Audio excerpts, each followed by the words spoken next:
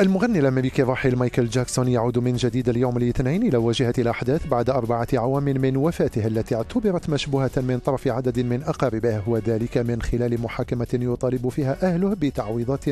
ب 40 مليار دولار من منظم حفل كبير ألغي بسبب وفاته عن سوء اختيار طبيبه الشخصي.